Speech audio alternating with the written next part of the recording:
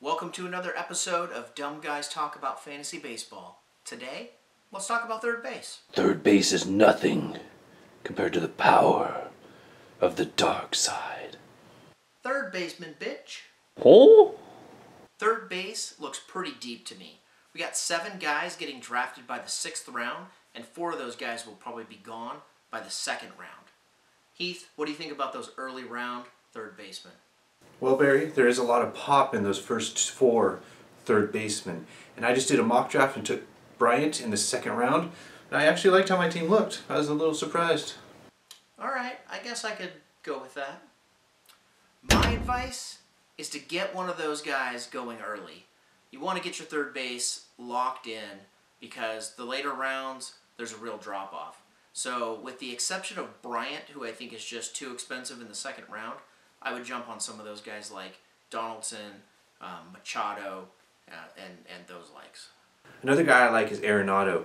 I think he's got a great balanced approach to the plate, which will result in good numbers, a combination of power and average. Go after that guy. Heath, what do you think about Manny Machado? In our league, Manny Machado is shortstop eligible, which could make third base even more shallow, just because I might get him, stick him at short, and then pick another third baseman as well. You never know. A guy going in the sixth round is Todd Frazier, which is pretty interesting because I think I drafted him last year around the third round. The thing about Todd Frazier, he can put out some numbers, but his second half, he always falls off.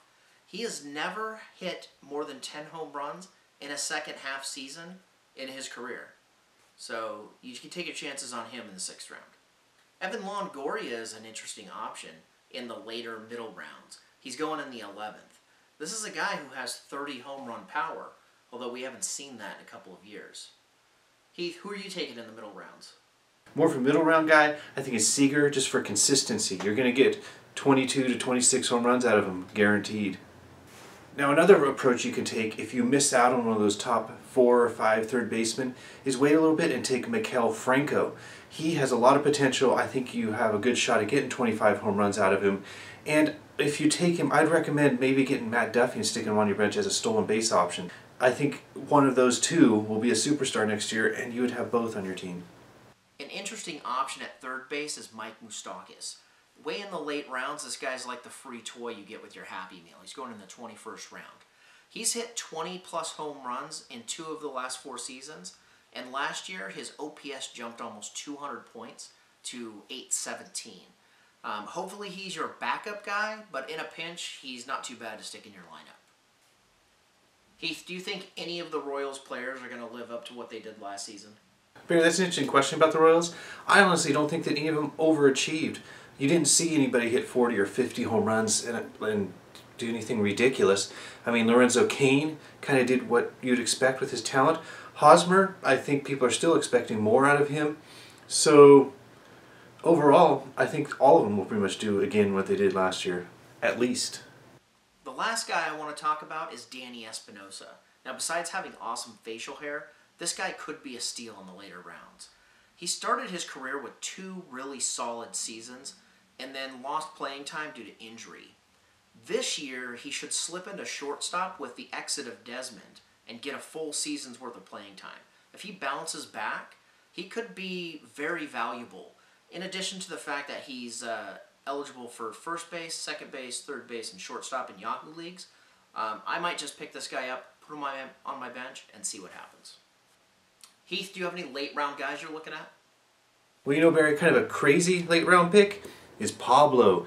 He can't do any worse than what he did last year, and he lost a little little bit of weight. And when he did that with the Giants, he bounced back nicely. So I'd say a low weight Pablo could be a good, really late option. All right. Okay, guys, that wraps us up at third base. Watch Dumb Guys and win your fantasy baseball league.